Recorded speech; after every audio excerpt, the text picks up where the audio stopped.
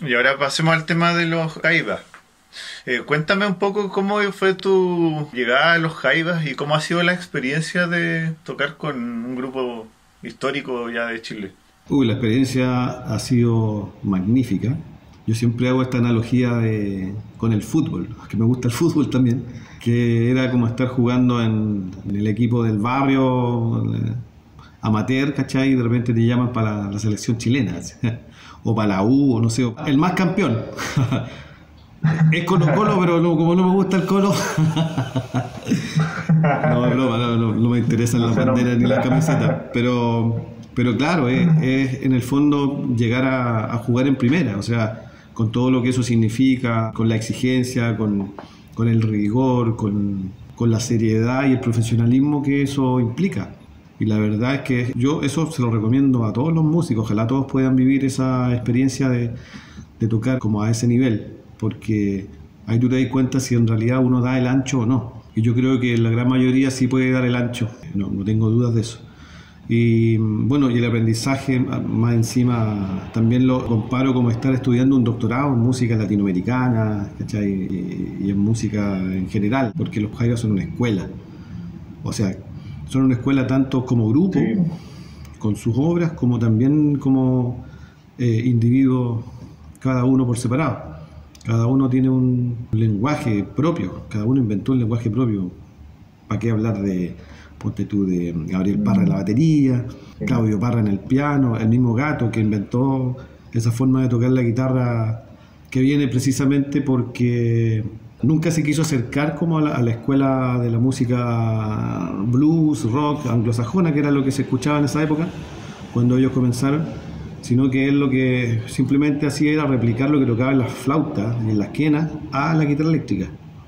Por eso que él no usa bending, ¿cachai? No, no, usa, no usa recursos que son más propios de, ese estilo, del estilo del, blues y del rock. Entonces, ahí tiene otro aporte. Cada uno aportó, Eduardo Parra con, sus letras, con, el teclado, con, el atrevimiento, con, la genialidad de inventar melodías todo junto en la melodía de Eduardo Parra, La Conquistada, Mira Niñita de, de Gato, eh, y, en fin, así un montón de cosas, el uso del mini moog, ¿cachai? Como que ese, ese atrevimiento, esa vanguardia que ellos tenían con su forma de ser, por eso los Jairas son lo que son. Y entrar a, a estar ahí, seguir escribiendo la historia con ellos, 50 años, yo entré cuando cumplieron 50 años. Imagínate.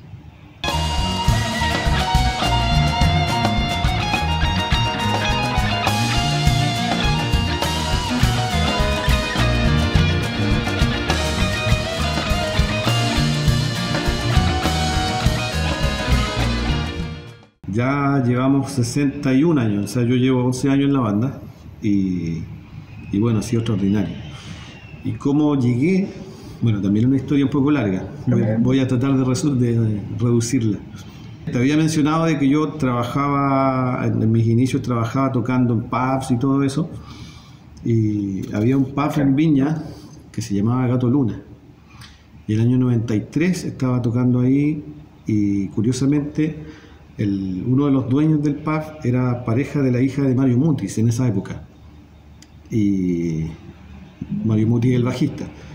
Y mm, bueno, por ese nexo llega un día Claudio Parra al, local, pues nosotros en el repertorio que tocábamos, tocábamos eh, Soda Stereo, GIT, eh, Eros Ramazzotti, Santana, y tocábamos temas los Jaivas, tocábamos La Conquistada.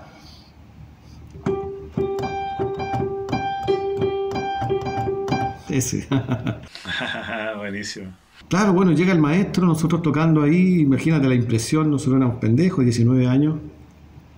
Él llega, se sienta, nos escucha, después nos invita a su mesa, compartimos con él, nos conocimos y nos propone tocar con él. El próximo fin de semana, ahí mismo. Oye, me gustaría tocar con ustedes. Eh, ¿Podría ser? Imagínate, ¿qué le íbamos a decir nosotros? El asunto es que nos juntamos a ensayar en la, en la semana y bueno, esa fue una tarde así eh, impresionante de compartir con él, había un piano obviamente y se tocó de todo, todo lo que le pedíamos tocaba. Nosotros parecíamos así como, cualquier fan, digamos, disfrutando exclusivamente con el maestro Claudio Parra.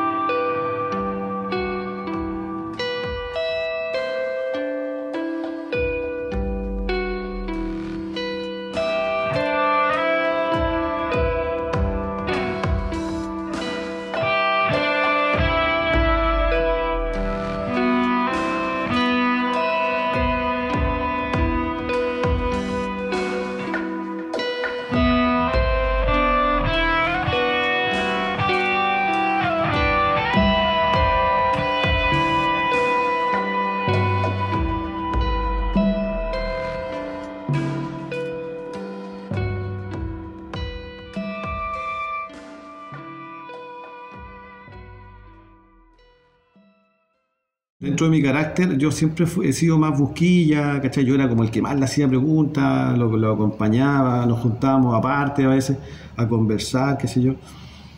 Y ahí se forjó una amistad. Y esa amistad, bueno, duró para siempre.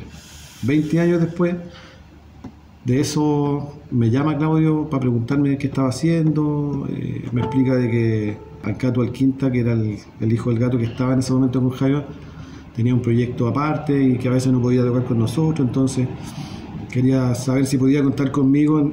Entonces yo le dije, obviamente que sí.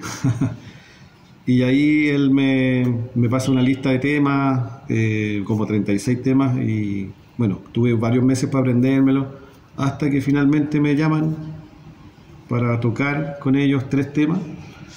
Y y ya después finalmente me dicen, bueno, vamos a trabajar contigo enero y febrero, tenemos 22 conciertos para ir fogueando, para pololear, no me acuerdo, Mario me dijo esa palabra. Ya, pues le digo, esto fue en diciembre del 2012. Ya, fantástico, ¿cuándo vamos a ensayar? No, cabrito, no hay ensayo, tenéis que llegar a tocar. ¿Qué? Así fue, pues. tuve que llegar a tocar a dos conciertos inmediatos. O sea, en el fondo ahí tú te tienes que subir al tren que ya viene no sé cuántos kilómetros por hora y durante 50 años ya. Y ahí tú te das cuenta de que realmente si das el ancho o no das el ancho. Afortunadamente ya llevo 11 años, así que tan mal no lo, no lo he hecho. Buenísimo. Tremenda experiencia ahí, una escuela de música chilena. De hecho, yo una vez conocí al Claudio, estuvimos trabajando un proyecto de transcripciones de partituras que está en stand-by espero que en algún momento podamos retomar el tema. De hecho, me lo encontré hace un par de años, un día en Santiago. Así que mm, ahí esperamos comunicarnos en algún momento y concretar. Había harto material escrito con todos los instrumentos. ¿Algún disco en especial? ¿Obras de Violeta? ¿Puede ser? Sí, está Obras de Violeta, Canción del Sur. ¿Qué otro disco más está? Arrebol. Mamayuca, eso está en proceso. Oye, está que se corta la videollamada. Te voy a pegar un llamado por WhatsApp. Pero tenemos uno que es poderoso, que ellos no lo saben, no lo van a ver nunca, que es nuestro Dios. Él es el que va a bajar la mano. Así como sufrimos, llegará el día y el momento que ellos también van a sufrir.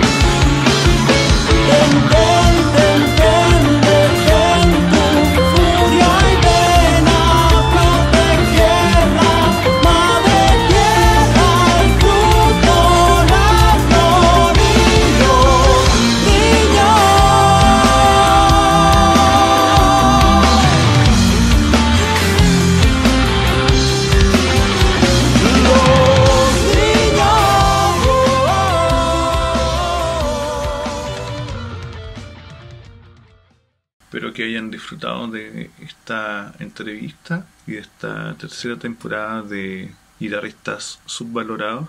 Lamentablemente esta videollamada fue interrumpida por problemas de conexión, pero esperamos tener más material de Alan pronto y suscríbanse al canal y los dejo invitados a que conozcan mi nuevo sitio de Gumroad donde estaré publicando mis transcripciones son los de guitarra que he realizado y más material en formato digital directamente para comprar a través de esta plataforma.